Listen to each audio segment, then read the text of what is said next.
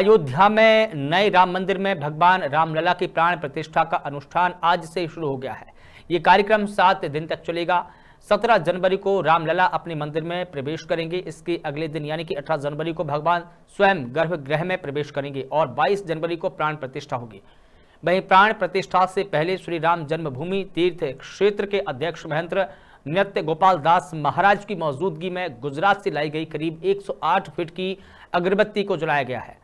यह अगरबत्ती पर्यावरण के अनुकूल है। यह करीब डेढ़ महीने तक जलेगी और इसकी सुगंध कई किलोमीटर तक फैलेगी। इस अगरबत्ती का वज़न तीन हज़ार छह सौ दस किलोग्राम है और यह लगभग तीन दशमलव फिट चौड़ी है।